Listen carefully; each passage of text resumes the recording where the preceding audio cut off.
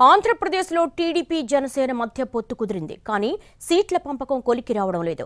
ఇప్పుడు కూటమిలో బీజేపీ కూడా చేరింది. దీంతో పవన్ ఢిల్లీ పర్యటన తర్వాతే సీట్ల వాటాలు తేలే అవకాశం ఉంది. ఇంతకీ ఏ పార్టీకి ఎన్ని సీట్లు దక్కుతాయి?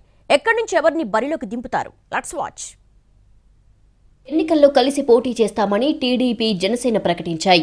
ఎవరికి ఎన్ని సీట్లు ఏ నియోజకవర్గం నుంచి ఎవరి అభ్యర్థుల్ని బరిలో దించాలి అనే దానిపై కసరత్తు కొనసాగుతోంది.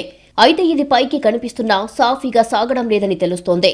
ఇప్పటికే చంద్రబాబు పవన్ కళ్యాణ్ పలుమార్లు సమావేశమై సీట్ల సర్దుబాటుపై చర్చించారు. తమ మధ్య అవగాహన కుదిరిందని చెప్పారు. కానీ ఏ పార్టీకి ఎన్ని సీట్లు దక్కాయనే విషయంలో ఇంతవరకు స్పష్టత లేదు.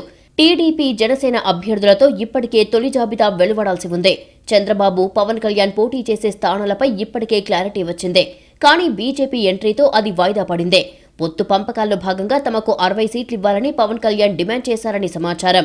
కానీ దానికి టీడీపీ అంగీకరించలేదు. పలు దఫాల్లో జరిగిన చర్చల వల్ల జనసేనకు దక్కే అసెంబ్లీ సీట్ల సంఖ్య ముప్పైని దాటబోదని సమాచారం. సీట్ల విషయంలో పవన్ ఎంత ఒత్తిడి చేసినా చంద్రబాబు మాత్రం తగ్గలేదని తెలుస్తోంది. ఇక గత్యంతరం లేని పరిస్థితుల్లో చంద్రబాబు చెప్పిన నంబర్కే పవన్ కళ్యాణ్ ఓకే చెప్పినట్టు సమాచారం. పొత్తులో భాగంగా తమకు ఇరవై ఆరు అసెంబ్లీ మూడు ఎంపీ స్థానాలు దక్కినట్టు జన సైనికులకు పవన్ చెప్పినట్టు సమాచారం. ఇందులో రాజోలు రాజానగరం నియోజకవర్గాల్లో పోటీ చేయబోతున్నట్టు ఇప్పటికే జనసేన ప్రకటించింది. తాజాగా రాజమండ్రి రూరల్ నుంచి కూడా అభ్యర్థిని నిలబెట్టాలని జనసేన నిర్ణయానికి వచ్చినట్టు సమాచారం. టీడీపీ విషయానికి వస్తే మండపేట అరకు అసెంబ్లీ నియోజకవర్గాల్లో పోటీ చేస్తామని తెలిపింది. తాజాగా టీడీపీ జనసేనల కూటమిలో బీజేపీ కూడా చేరింది.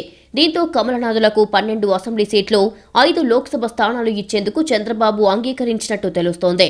అయితే బీజేపీ ఎన్ని సీట్లు అడుగుతోంది? ఏ ఏ నియోజకవర్గాల్లో పోటీకి ఆసక్తి చూపిస్తుందనే విషయంలో ఇంకా స్పష్టత రాలేదు. మొత్తానికి మూడు పార్టీల మధ్య సీట్ల పంపకాలు పూర్తయితే తప్ప అభ్యర్థుల ఎంపికపై కసరత్తు ప్రారంభమయ్యే అవకాశం లేదు.